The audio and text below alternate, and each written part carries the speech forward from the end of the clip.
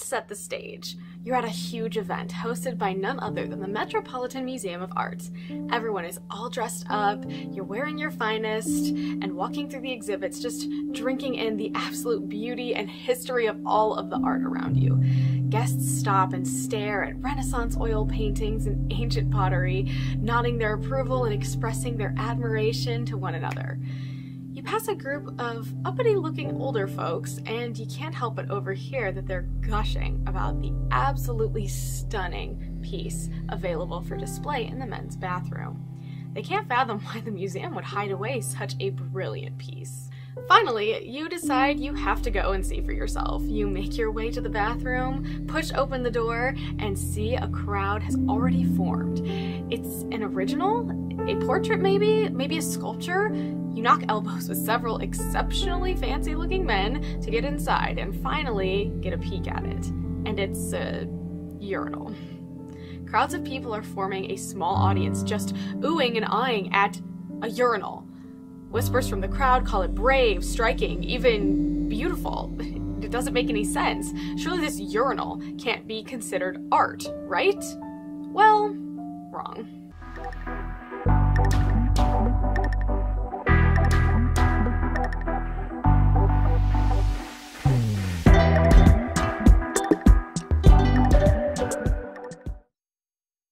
Hello everyone and welcome to episode 3 of Artroversy. When I uploaded my first episode at the beginning of November, I said I would be making at least 3 episodes to see how the project went.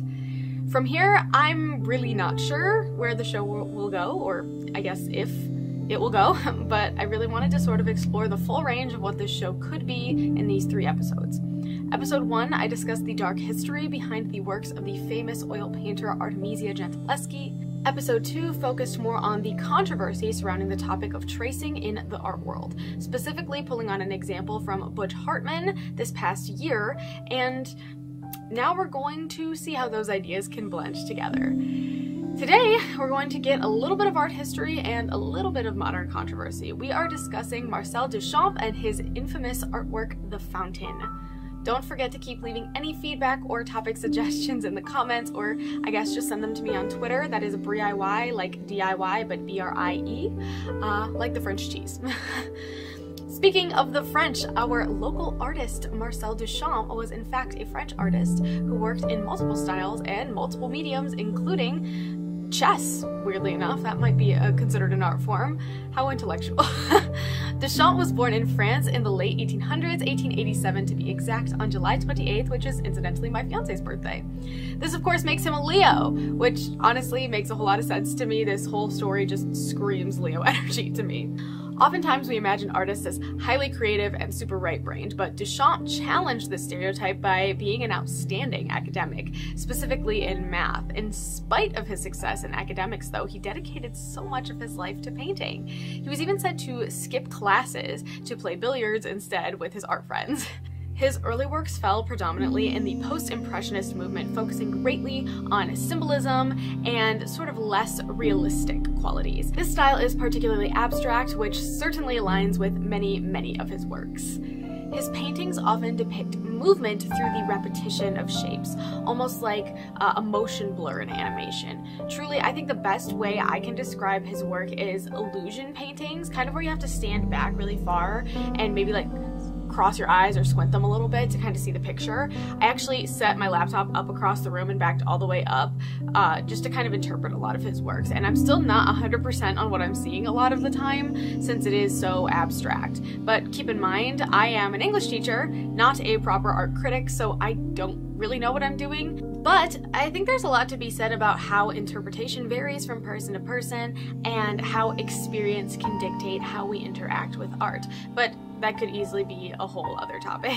Duchamp did spend some involuntary time in the military in 1905, and by 1908 he was exhibited in the annual Salon d'Automne, pardon my French, I'm really trying, um, and he was actually beside some really well-known artists, although some of them did actually call his work particularly ugly. Uh, from this, he made some excellent connections. He started building his own reputation, and he often described his own work as stretched out as if elastic, which I think is like a really neat way to describe it.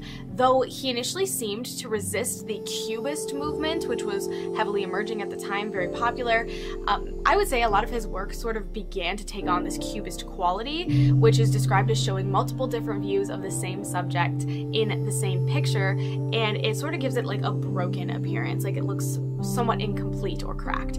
However, he was politely asked to withdraw a painting after submitting a piece to the Cubist exhibition. The work was entitled Nude Descending a Staircase Number 2, which depicted what could be considered a Cubist interpretation of a nude, and of course that nude was then descending a staircase. The reason behind his being asked to withdraw was not a question of its quality, but whether or not it was actually considered a Cubist work, which is a fun question to ask. Duchamp himself described the event as a turning point in his life in which he turned away from artist groups. By 1913, he was done altogether, and he actually became a librarian, mad respect.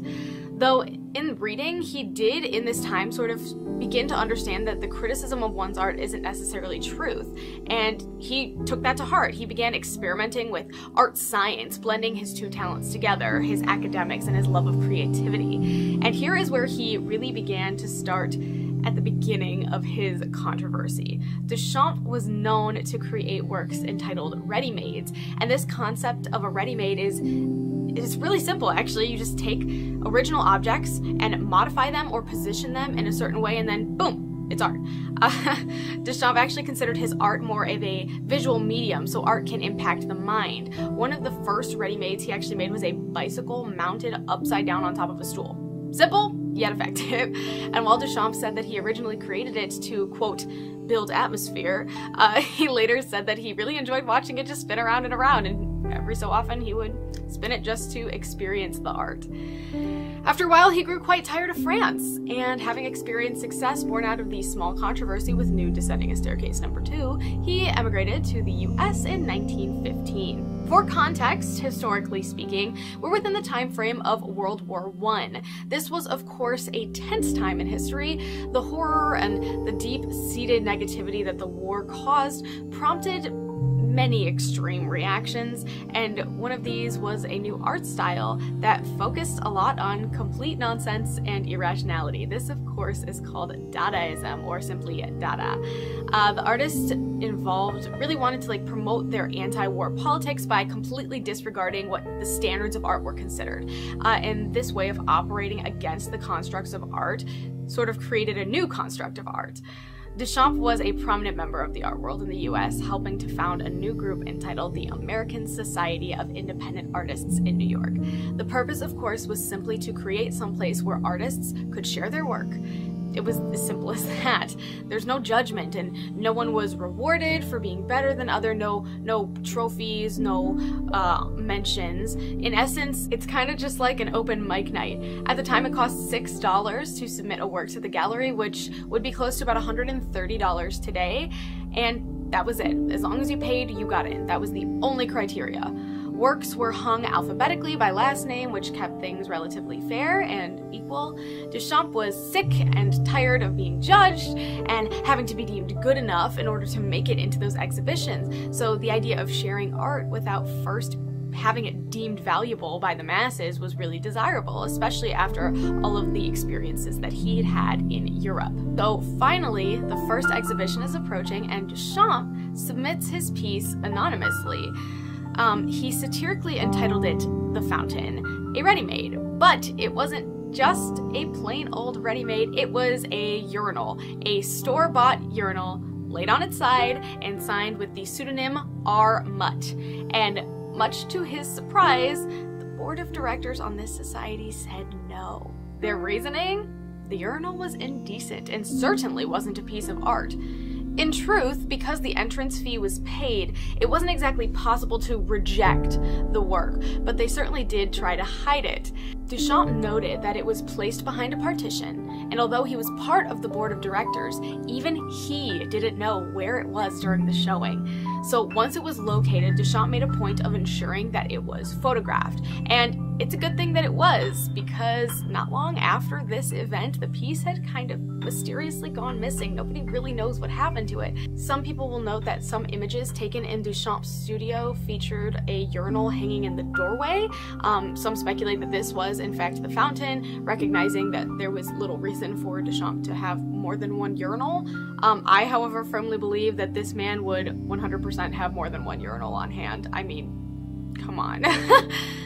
With the rise of Dada, there was a notable amount of disagreement with the decision to censor the piece. The fact that it was hidden during the showing made it through the grapevine in the art community. A Dadaist magazine actually shared the news of the refusal, comparing the form of the urinal to other well known pieces, and even going as far as to call out those who said that the piece was not art. Specifically, it claimed that the fountain was not made by a plumber, but by the force of an imagination. Because of Dadaism's adherence to the idea that traditional art isn't the only art, they lamented that it was the idea behind the piece that mattered, just like the ugly macaroni necklaces that your kids bring home to you after church camp. The magazine further asserted that a urinal can't be considered indecent or immoral, as the society claimed, because they're an everyday fixture, and whether or not a urinal was handcrafted was irrelevant because it was chosen by the artist, and for that, it had significance. It was interpreted as a claim that a useful object, just by changing the orientation, had now become useless. At this time, Duchamp was still not publicly known to be the artist. He was able to effectively test how open the society would be to unique forms of art and truly be a safe space for artists to share their work and really everything that they're passionate about. The artist R. Mutt was being scrutinized but also heavily praised. Duchamp's motivation behind the use of the name R. Mutt differs between sources. Some say that the word is a pun on the German word Armut, meaning poverty. Others will say it's the name of a cartoon character or even a play on the company Mott Works, uh, which actually manufactures sanitary equipment, much like urinals. Regardless of the reason, Duchamp chose to sign under a pseudonym to avoid any favor from his colleagues, though he had suspicions that the society may have discovered the true identity of R. Mutt, and then left the Society of Artists after the dishonesty and the clear disregard for the mission of the organization. One anonymous author even commented that the idea of the urinal being considered immoral is absurd. They questioned how such an everyday object could be considered immoral. By the time the 1920s had begun, many believed Duchamp had completely abandoned art, and he wanted to focus solely on his competitive chess career. He actually reappeared in 1934, in which he produced a portable museum with miniatures of some of his favorite works. He entitled this the Box in the Valise, Box in a Valise, which is probably the cutest thing I've ever seen. You guys need to look at those pictures. um, he began creating replicas of the fountain, kind of in an attempt to show his works to a wider audience. Some did question the authenticity of the art of the ready-made if it is a recreation, and if it's not any intentional choices in a particular moment, does that make it the same thing as the original piece. This, of course, opens up a whole other idea of which urinals can be considered art based on the principles of Dadaism. It seems so ironic given the fact that it's basically the art equivalent of saying the rules are there are no rules, and yet there's rules. Duchamp's piece was considered intentionally disruptive. It made huge ripple effects in the art community and it challenged the idea of what art was supposed to be or look like. Though even after this huge bookmark in art history, the idea to the public of what art seems to be remains the same. Postmodern art rests in the ideal of complexity and contradiction. There is no single point of view in art. The world is always changing, and what is considered art now might not be considered art later, and what might not have been considered art at the time of the fountain has now become a well-known staple in art history as the catalyst for postmodern art to thrive.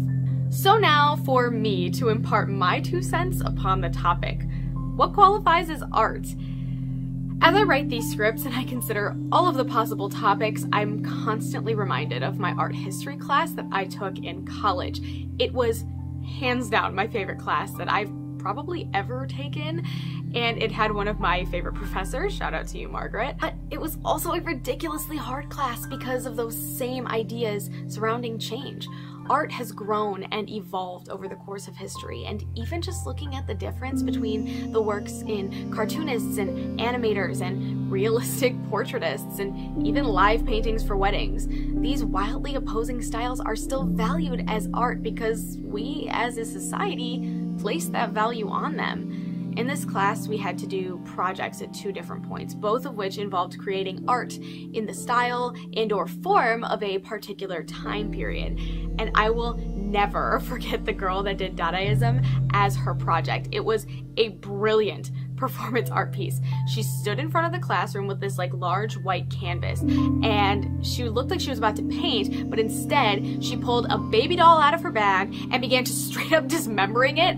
Both legs, both arms, you know, no more head. And piece by piece, she just took these like super long pins and started stabbing the appendages through the canvas so that they would like hang off like a creepy plastic baby doll mobile. It was alarming, unexpected, and also unforgettable. I wonder constantly if everyone in my class thinks about that as much as I do. Her movements were so like direct, so powerful. She it, she didn't rehearse it though. That's the wild part. She had a plan, but the execution was what felt right in the moment, and she did really well on that art project because simply put, she said it was art, and so it was.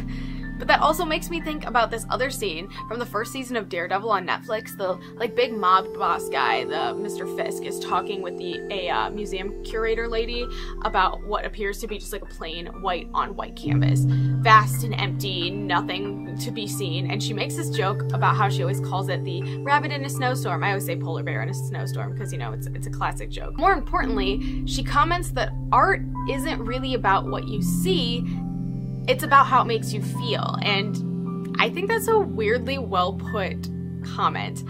Now, I attempted a quick Google search on that to see if it was actually some sort of fancy, well known quote from like Henry David Thoreau or someone else, but I couldn't really find it anywhere. Truthfully, I'm not certain that's even the exact quote, but I do think it does encapsulate art as a concept really well. I am by no means qualified to decide here and now what art is and isn't, or even provide a definitive definition because I really think it's, it's an impossible task. But I do think that the feelings are what makes art meaningful to us as individuals and as artists. I don't remember that piece the way it looks. I don't remember where the baby doll's head was in relation to its left arm, but I do remember the shock and the awe that I felt watching it come to life.